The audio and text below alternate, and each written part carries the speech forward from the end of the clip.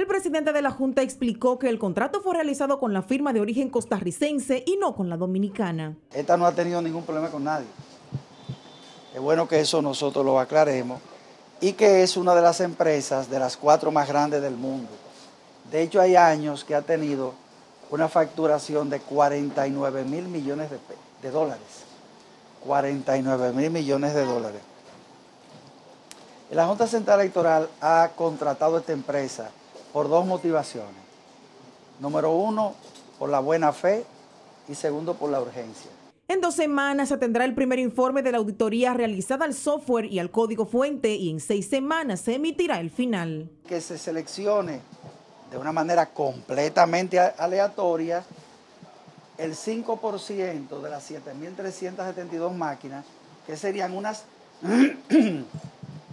unas 400 máquinas en relación a lo sucedido en Bolivia, Castaños Guzmán destacó que esa es una comparación que no debe hacerse porque el sistema utilizado allá no fue automatizado ni electrónico. Bolivia no tiene voto automatizado, ni tiene voto electrónico. El fraude sí lo hubo, se hizo ahí en un sistema que con boletas físicas y con conteo manual. El magistrado manifestó que la institución no ha recibido ninguna propuesta de candidatos que participaron en primarias para volver a postularse por otro partido, cuyo plazo vence el 3 de marzo para el nivel presidencial. Será mañana cuando inicie la auditoría los equipos utilizados en las pasadas primarias, con la participación de los delegados políticos, la dirección de informática de la institución y la empresa contratada y con el acompañamiento de Uniore.